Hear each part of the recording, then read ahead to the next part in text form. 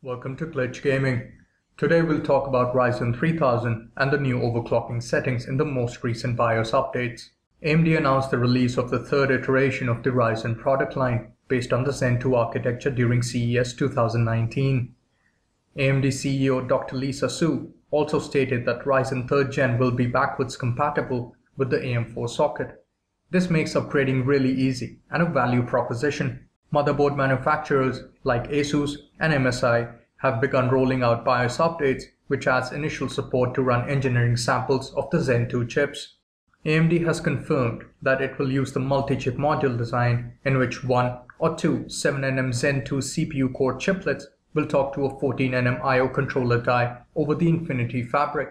The first benefit of this is that it is more economical to manufacture only those components that can take advantage of the die shrink to 7nm, like the CPU.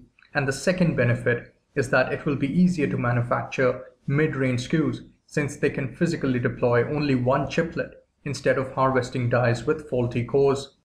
The downside of this approach is that the memory controller is no longer physically integrated with the processor cores.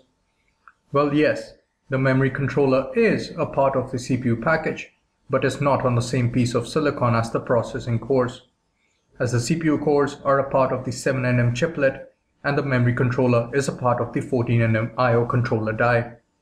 As a result, there needs to be an interconnect between the CPU cores and the I.O. module, which houses the memory controller. AMD is now leveraging the Infinity Fabric, its high bandwidth scalable interconnect, and it seems that AMD will be introducing a new version of the Infinity Fabric that offers more bandwidth, up to 100 gigabytes per second. The folks at TechPowerUp and their resident Ryzen memory guru, Yuri, aka 1usmus, examined the latest BIOS updates and found several new options that are exclusive to Matisse. The first change is to the uClock options. The Infinity Fabric runs at a frequency synchronized to the memory frequency, and while doing serious memory overclocking, there is a possibility that the Infinity Fabric can't handle the increased memory speed. The new BIOS has the following options.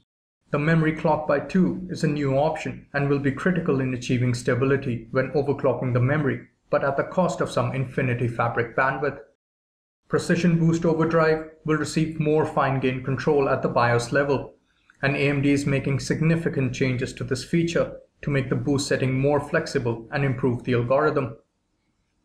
Although current 400 series boards and Ryzen 2nd Gen are facing issues with the latest BIOS, as a disclaimer, I would suggest against upgrading the BIOS. If it isn't broken, then don't fix it.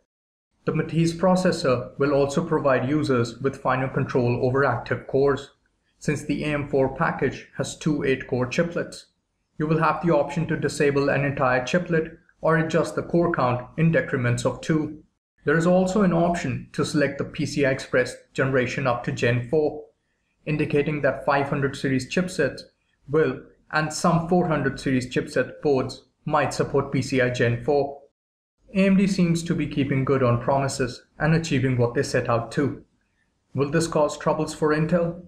What do you think? Are you excited about what AMD is bringing to the table? Let me know your thoughts in the comment section below.